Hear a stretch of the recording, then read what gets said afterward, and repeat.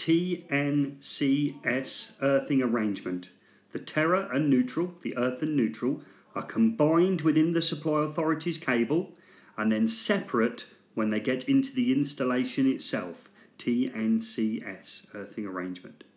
This is how it will look in a single phase domestic dwelling. How will it look in images shown to us for our exams? The left hand side of this drawing shows the supply authority's cable. It has a separate line conductor and a combined protective earth neutral conductor.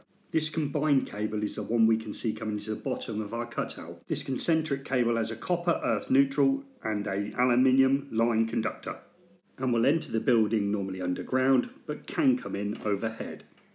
This drawing also only shows one of the star connected windings on the supply authority's side as well as the centre tap point to earth. The supply authorities will provide the metering equipment and cutout fuse rated either 100, 80 or 60 amps for a single phase domestic dwelling. In a TNCS earthing arrangement, the supply authorities provide one conductor for both protective earth and neutral. This PEN conductor on the supply authority side is staked throughout its run. We call this PME, Protective Multiple Earthing. This PME in of the PEN conductor is very important as loss of the neutral on the supply authority side would mean loss of the protective conductor in the installation. PME helps to prevent this happening.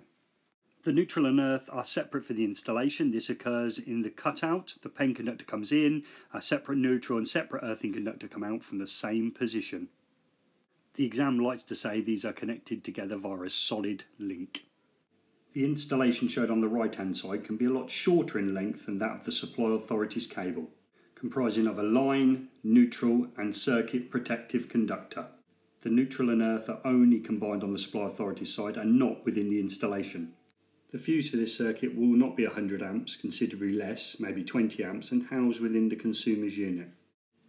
The external earth fault loop impedance of the supply authority's cable is a maximum of 0.35 ohms. So to recap, where the supply authorities provide an installation with a combined neutral and earth or PEN conductor into the installation. The earthing arrangement is TNCS.